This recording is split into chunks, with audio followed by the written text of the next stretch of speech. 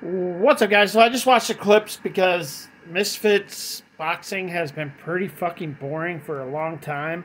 So I just watched the clips. Uh, yes, one of the knockdowns uh, from FaZe temper, he definitely got elbowed in the face.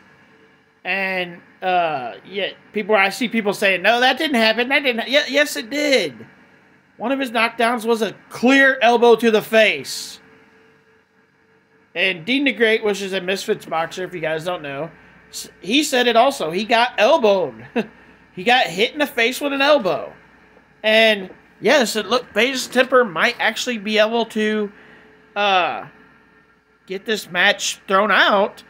The thing is, and, and, and I'm not trying to give uh, get mad at FaZe because yes, he got elbow, but uh, he got back up and then he went on to get knocked the fuck down again. And FaZe Temper would have definitely lost this fight no matter what. He was going to get his ass whooped in this fight. But whether he was going to win or not, he got elbowed in the face. That happened in this match.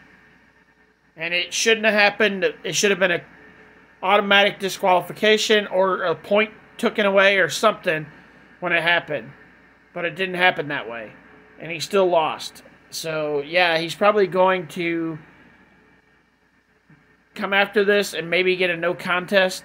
More than likely, like, you know, when KSI elbowed uh, Joe Fournier, I think that was his name, in the face. Yeah, that went to a no contest. That's probably what this fight will end up being, too. We'll have to wait and see how it all plays out. Like, comment, and share, and we'll see you out in the next video. Peace.